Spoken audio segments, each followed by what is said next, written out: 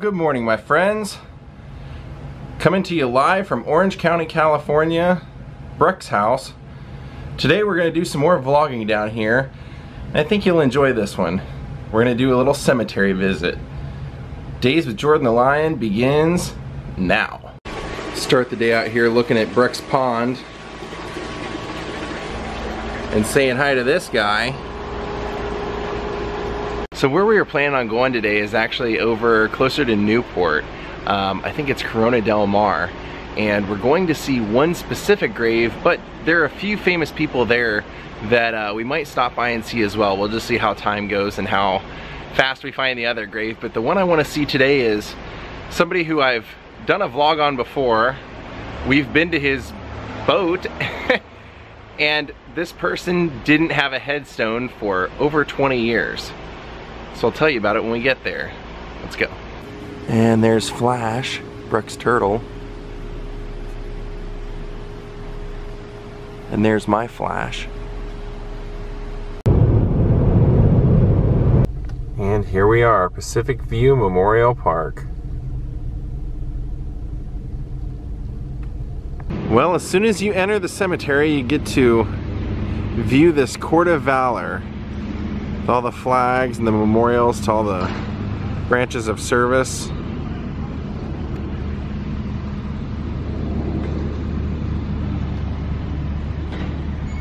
First grave we're going to see today is the main grave that we came for.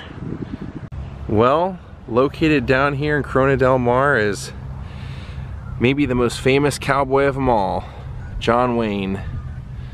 Born and raised, well, not born here, but he was brought here at the age of five and raised in Southern California and became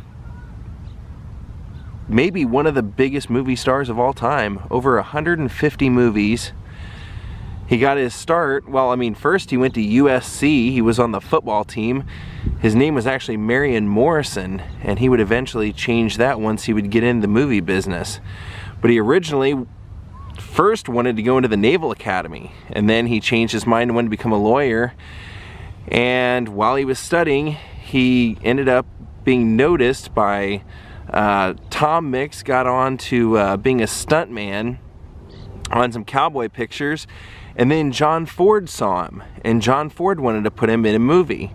And so John Ford had to fight the studio but ended up getting John Wayne in Stagecoach which basically lifted his career and took him on to the road that he would be known for and that we would know him for. That man right there. The guy we would see riding the horse, man against country, man against the wilderness. Now John's story is kind of interesting because he just for some reason even though people thought he wasn't a great actor, he just had a screen charisma and uh, and apparently on set he was a real card. He loved to uh, play practical jokes. He used to uh, prank the people that he worked with. James Caan told a story of how he was filming a scene and John would say, hey, you should say this. And the director would tell him to say something else and every time they go to film it, he'd do what John said. And then the director would come yell at him and he finally realized that John was just kind of screwing with him. But he had a legendary smoking habit, five packs a day, and that's what ended up eventually killing him. You can see here, says tomorrow is the most important thing in life. Comes into us at midnight very clean. It's perfect when it arrives, and it puts itself in our hands. It hopes we learn something from yesterday. Now this is a relatively new marker, maybe 20 years old. And for 20 years, he didn't have a marker. Some say online that it was because his family didn't want a marker because they didn't want people to come and deface the grave. Some say it was actually John himself that didn't want a marker because he didn't want this to become some spiritual pilgrimage for people. He just looked at himself as a guy who was in movies and uh, you know, he was, I loved him in Rio Bravo, Rio Grande, El Dorado, um, who shot Liberty Valance, uh, what else? Stagecoach is great too. Red River, uh, True Grit. He won an Oscar for True Grit. That's actually probably one of my favorites. Rooster Cogburn, that kind of stuff. Just absolutely hilarious. Um, what was the other one uh, that he made with Maureen O'Hara? That one was really good. Rooster, or uh, that was, um, ah, I'm, I'm forgetting it. I'll, I'll put the name right here. But John's also kind of a polarizing guy because he uh, he was somebody who was a staunch Republican and they actually even named the airport here in this county after him. Now some people have argued that he didn't wasn't a true patriot because he didn't serve and you know every time I do or mention anything John Wayne somebody says that and so I looked into it and what I found out was that the first time that he uh, was drafted or that he was supposed to go in, he actually had four kids, and so he had a deferment because he was the uh, the financial breadwinner of the family. Now, I was also able to find an interview with John Ford's grandson, where John Ford has some correspondence between the two, where John's kind of given the Duke the business about not being in the military because John Ford had enlisted and was serving at that time, and so John Wayne actually did fill out the application to join the OSS, but what they said happened was um, the paper, by that point, John and his wife um, split up somewhere in the time that he had filled out the paperwork and um, and he was this was when Stagecoach had come out he was starting to become a big star and so um, they said that when the paperwork was sent, it was sent to his old address, which was where his wife lived. And they said that they believe his wife didn't give him the paperwork because she had four kids and if he died in war she'd have to take care of them solely and he was an up and coming star. Like I said he was already having success with a couple of movies and Stagecoach was mainly the big one. Now the second time that he was uh, eligible to go in, it was actually, um, from what I understood, it was Republic Pictures that requested him to not be sent to war because um, he was the biggest box office draw that they had, and they had argued that without him, the film company might go under and that the morale of the people would also be in jeopardy. And then the third time, some people argue that he should have been involved in, uh, you know, later efforts. He was too old. So, you know, argue what you will, he had a uh, an affinity for the military. Um, in fact, buying a naval minesweeper for the last 20 years of his life. And when he moved out of uh, Beverly Hills, he pretty much was living off and on that boat. He had a house here in Newport Beach, but he, for the most part, would spend a lot of time traveling to Catalina, to Mexico, various places on that minesweeper. So here's where he eventually would pass away and be buried for people like us to come and visit his grave. I, uh, my introduction to John Wayne, I think, was growing up watching Married with Children and Al Bundy always talking about that one time a year where TV would show Hondo and every year somebody would ruin it for him somehow. And that name John Wayne just always stuck out my mind. And then when I finally saw a John Wayne picture, I think the first thing I saw was El Dorado. And I was hooked, so. Like he said, some people thought he wasn't a great actor, but he said, I've been making movies for 50 years, 152 movies. I think I learned something along the way. If you already haven't seen the video, go look on my channel for John Wayne's Minesweeper, the Wild Goose, because it's now owned by Hornblower Cruises. They were nice enough to let me go out there and tour the boat, and it's quite an experience to get to see where John Wayne spent so much of his time in the later years. You notice over his shoulder, it's the Alamo. Yeah, he played war heroes, cowboys, all kinds of things, and you know, he actually said in an interview with Barbara Walters, he said the biggest life lesson he had as an actor probably was, he said he was on set and he was telling some people on set how he wanted to make every kind of movie there was. He wanted to play every role there was. And Harry Carey's wife, uh, Harry Carey was in the movie as well, and Harry Carey's wife pulled him aside and said, you're an a-hole. You know, do you think that people want to see that, people like you as a cowboy, give them what they want. Don't disrespect the audience. And he said, he thought about it and he said, you know what, she's right. And he said it was the best advice I ever got. That's also why he's probably remembered as the most famous cowboy of them all.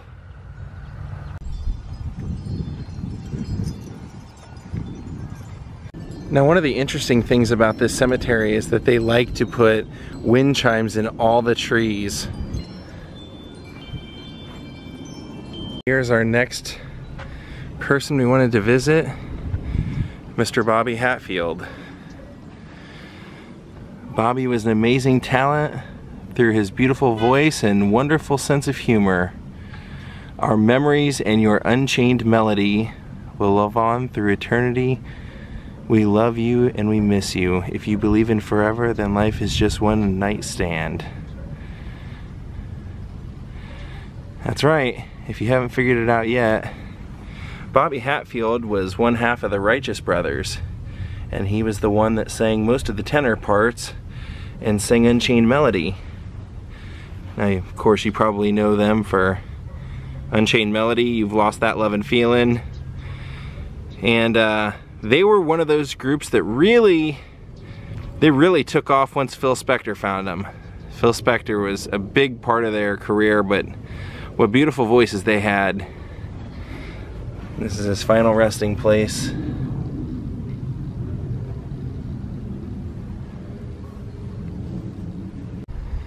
Now here is the section of land where we're looking for the next person that we want to visit who is also in the field of music, but much different style of music.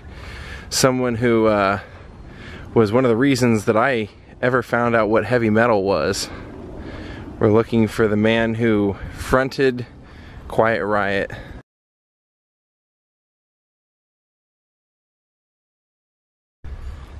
As we're looking for Kevin, I just noticed this one that says Holocaust Survivor.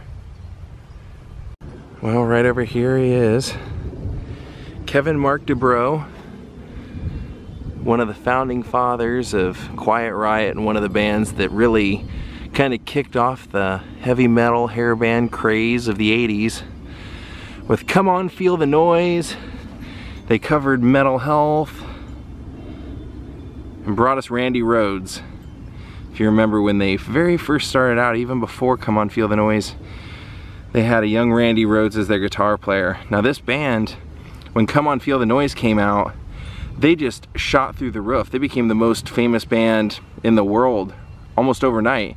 They were on the cover of all the Hit Parader and all the metal magazines. They were on MTV constantly. They were headlining shows and unfortunately they had a, uh, Kevin at least had a pretty bad cocaine problem and it pretty much would plague him throughout his life. But during that time he was partying so much in the height of their fame that he just was even to his admission, he was just a gigantic jerk to everyone. Whenever he was interviewed, he would put down all the bands that were out.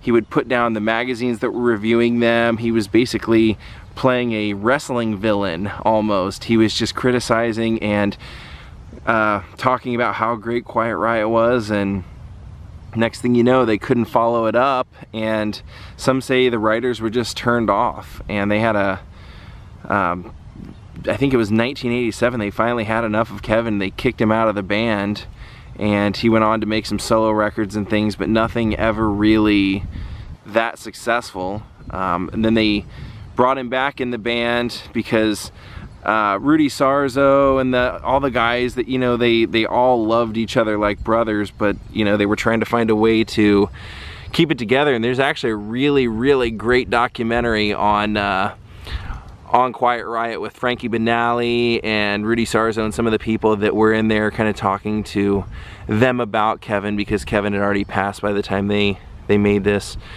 He unfortunately passed away of a cocaine overdose believe he was living in Vegas at the time and they found him dead in his apartment. Great band though. It was a really, like you hear that song and you cannot mistake his voice. That is a very, very, very unique voice, especially in a time when everybody was copying each other. To stand out was quite remarkable, so. Rest in peace, Kevin Dubrow. And Kevin is buried right here next to his stepfather. The music and memories live on.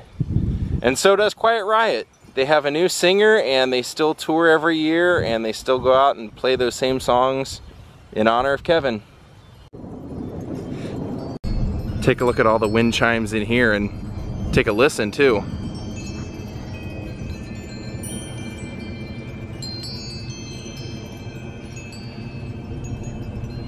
Now we have at least one more grave that we want to find today. Maybe one, more than that, but at least one more that I want to see for sure. We're going to go see him now. Now we found our next person right here, this nondescript, doesn't tell you anything about the man's history. And actually, in I, my opinion, it kind of says a lot about his humble nature, Mr. Robert C. Bob Wian. If the name sounds familiar to you, then you're maybe one of the only ones that knows that name. This man is who is responsible for Bob's Big Boy. Bob took a $300 advance, started out making double-decker hamburgers, and next thing you know, with that Chubby Boy logo and the overalls, he had the Bob's Big Boy that would eventually, where I grew up, it became Frisch's Big Boy.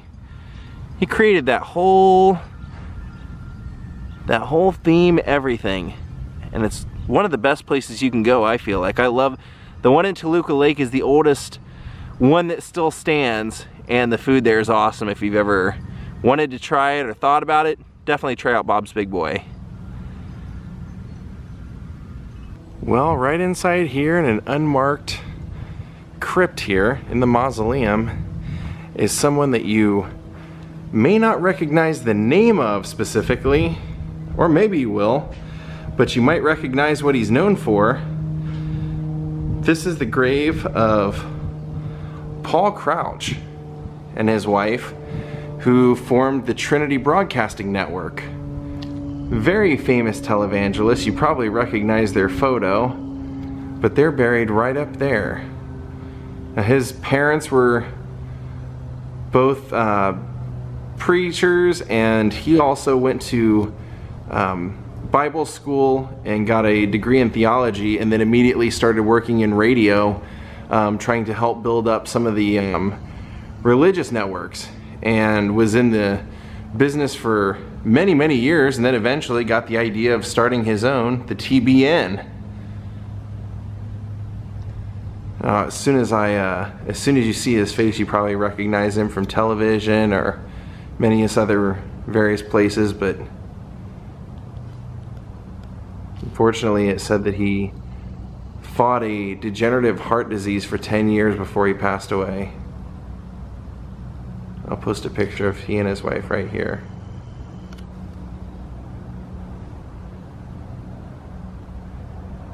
Well, I think Breck and I are gonna call it a day here at the cemetery. We're gonna head out of here. Well, man, you kind of met the Duke today. How was it? It was cool. Yeah, it was. Uh, I never knew he was out here, so it was kind of fun to see that.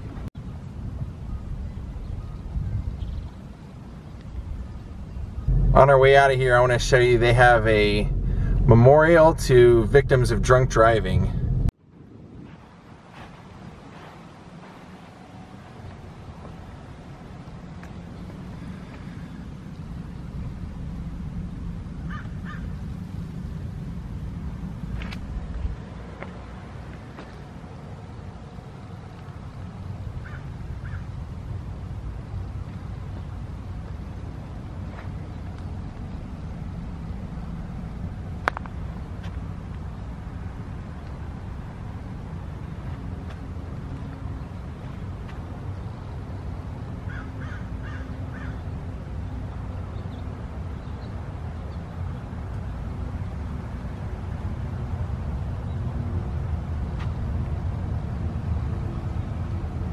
dedicated to all of those who died needlessly at the hands of others who chose to drink and drive.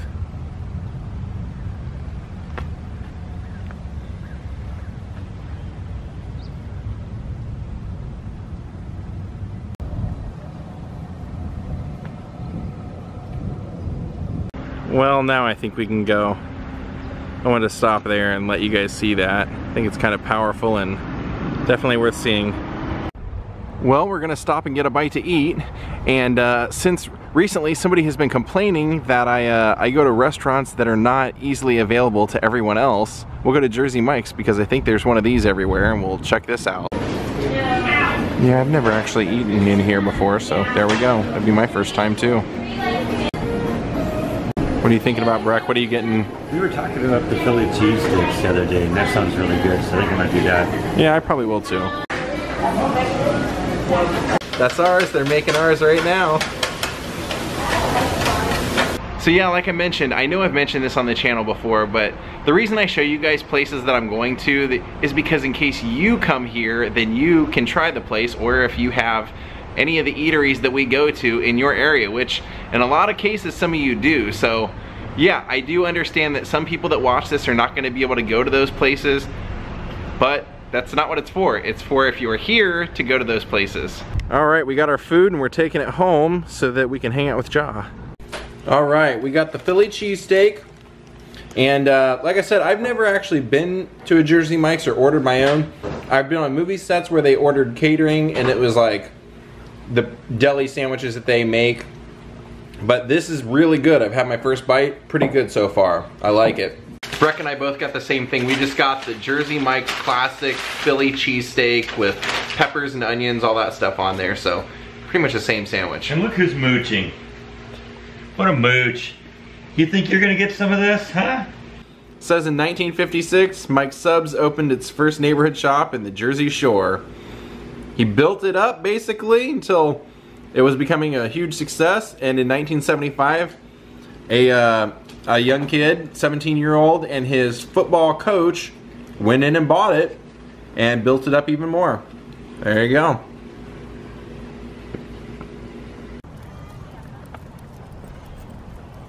It's always kind of weird to me to see these oil rig things out here in Orange County. Taking this guy for a walk. Well, unfortunately, I'm gonna have to say goodbye to John today because I'm uh, I'm gonna be heading up to Paso Robles to do some vlogging for the next couple of days. Well, I've said goodbye to John. I'm headed home. Well, we're gonna go ahead and call it a night. We have an early day tomorrow. We're gonna take off and do a long drive. Head out to Paso Robles. So we'll see you all then. Have a great night and goodbye.